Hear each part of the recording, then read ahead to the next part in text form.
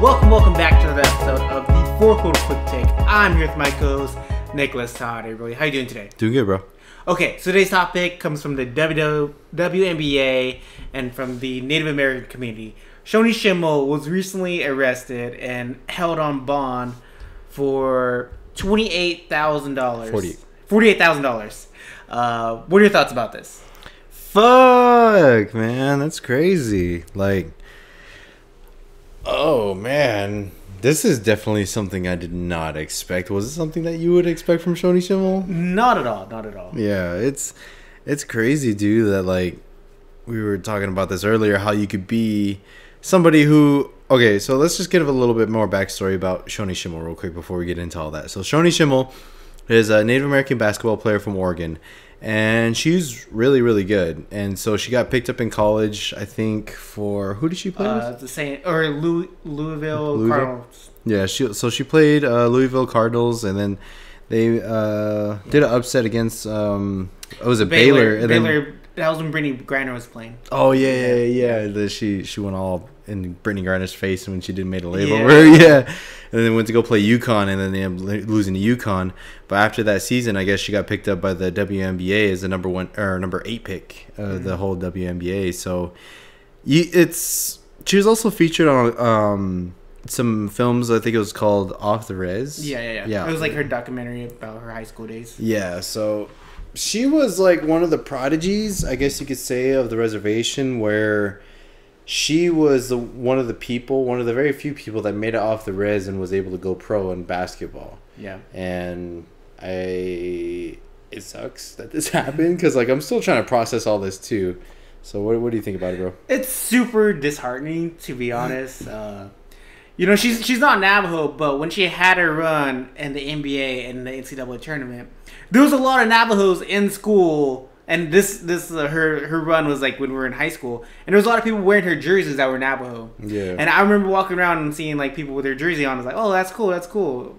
Uh, Native, they're supporting this Native American player, and it's just sad because uh, we talked about it how life will come at you fast. She's an NBA WNBA player. She was an All Star, and like two years out, she's getting arrested for whatever reason. Um, it says uh, assault and criminal criminal mischief, and you could be on top of the world, and then as uh, a couple years later, you could be at your lowest point in your life, which is common when you read about uh, pro players' careers and how they have mental health issues after they uh, they they retire or they, they they can't compete in their sport anymore, and it's sad because she was one of the shining hopes of the reservation. You know, she was one of the top players that everybody looked up to, just like Jacoby Ellsbury and Bubba Watson. Yeah. Bubba? yeah, yeah. yeah.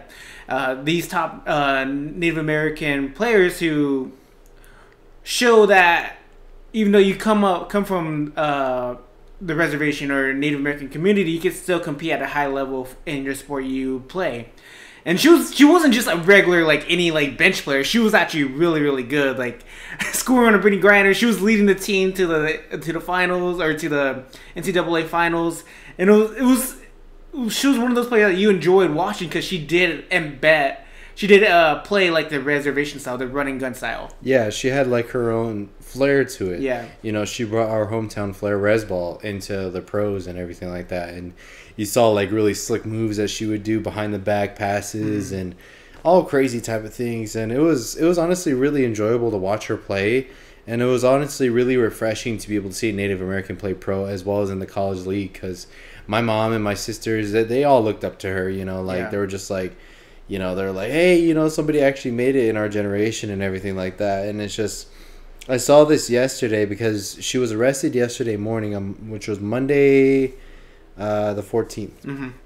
Uh, so they're not giving out too many details right now because I guess it's still under investigation. But whether whatever it is, if it's like if it's self defense or if she did it herself, you know, that is to be determined right now. Like Yeah. I don't I don't really feel too comfortable judging her because there's no final verdict of actually what she did yet.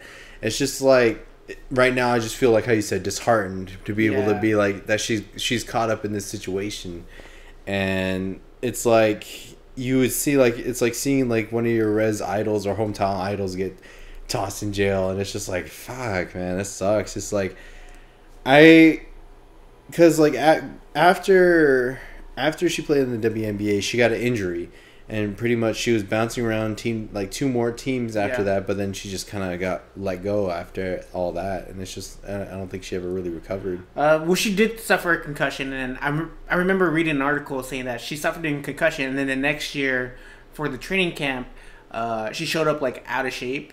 So it's like she was injured and then showed up out of shape, and then like those concussions are pretty pretty uh, mental heavy because in the NFL you hear about CTE and all those players like uh, kind of going crazy and losing their mind during um, CTE trauma, and it could have a plain effect. Uh, like, like you said, the like with the criminal case and everything, we don't know if it was self defense. You know, the person could have said something racist and or uh, there's some other cases like Aaron Donald, who's an NFL player, where the person he was at a bar and the person just wanted to fight an NFL player, so that that dude came up already wanted to start trouble.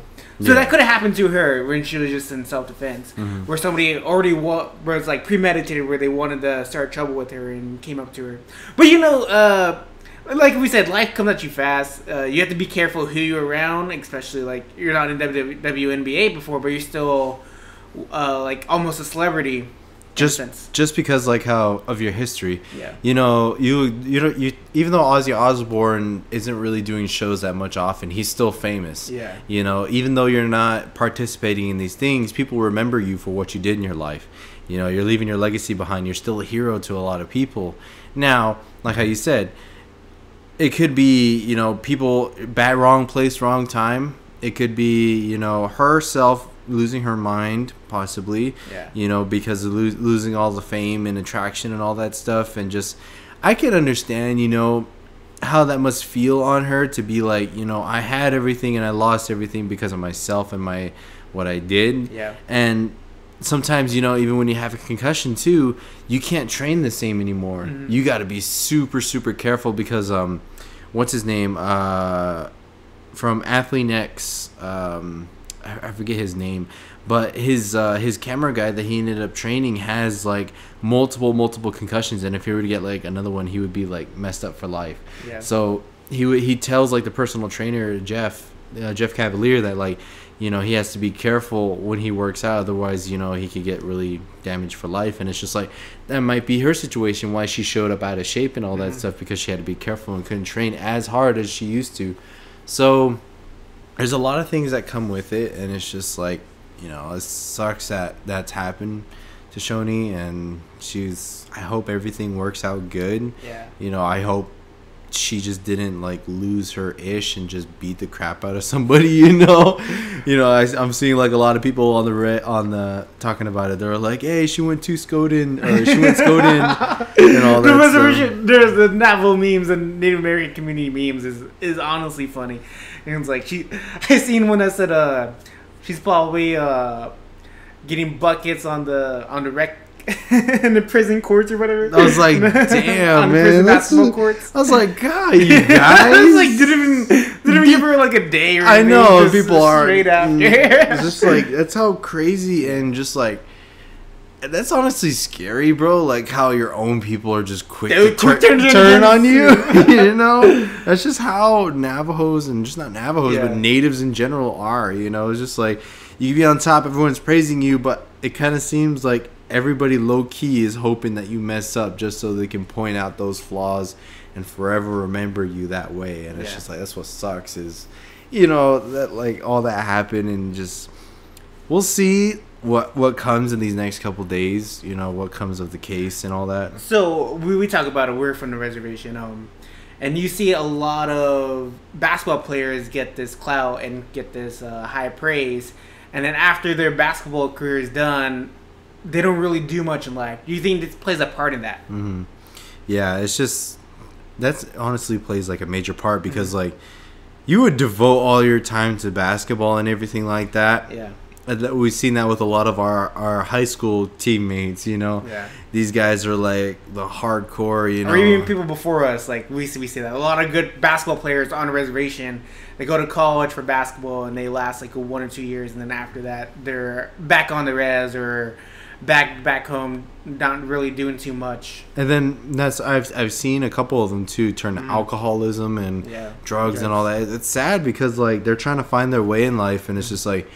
You know when they say ball is life, you know like they take that to heart, you know Yeah. because like, that's all they had at the time. And when you get older, you can't ball. You got to get a job, start having kids, a family, and all this Mm-hmm. stuff. And it's just like you can never make makes me miss the court now, bro.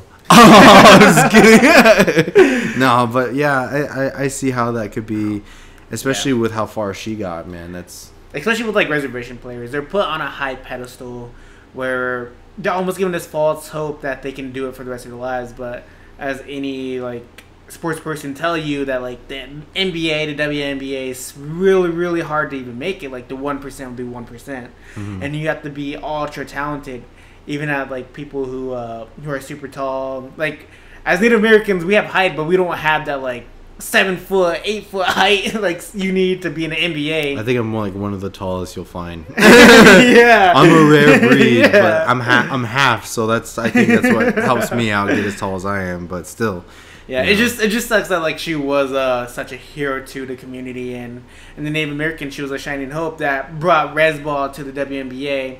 She played at a high high uh, high pace, like crazy passing, crazy handles, crazy layups, and it was that res res ball flash. And you, you watch her, you watch her playing in NWA. It's like, oh, that person plays like how I used to play, or how my mom used to play, or whatever. Like our community plays. And you've seen that in her, and it just sucks that you see that she she's handling these uh, legal issues now. yeah, you bet all these people on the TV like, hey, she did that to me at City League. Oh, I I seen that move. I know how to beat it. Uh, Yeah, But yeah, we're just gonna have to see how it goes from all that, and it's just you know, you know, if you know anybody who was on a high pedestal like that and they do lose their way, pretty much, you know, take care of them. yeah. You know, they're they're going through a lot. There's lot. still people like even though they're celebrities, she's still a person, and she probably deals with still all the Native American community traumas like domestic abuse, alcoholism, and all that in her community. That's uh, same as the Native uh, Navajo community. So I just hope she gets the help that she needs. Yeah. Because like I can imagine like, you know, people back at home are telling her like, Oh, you know, you go out and party, it's like, Oh, you're just a loser, you just you Yeah. lost out and everything like that. And I was just like I can imagine like, you know, egging her on in the right ways of things that traumatize her. And I guess that's in a sense abuse to her and egging on a fight and all that stuff. But I, I don't know. This is all just speculations of what happened, so Yeah. we're just gonna have to wait and see as far as the investigation and what other information comes out from it all. I remember when she was like on her high, uh, on her run, she played a game at at the Phoenix Mercury, and there was so many Navajos there, and I remember like. I wasn't at the game, but I was. I remember seeing the Instagram post, and everybody was there, and everybody was sharing on. And she had all the support of all the Native American communities. and Yeah.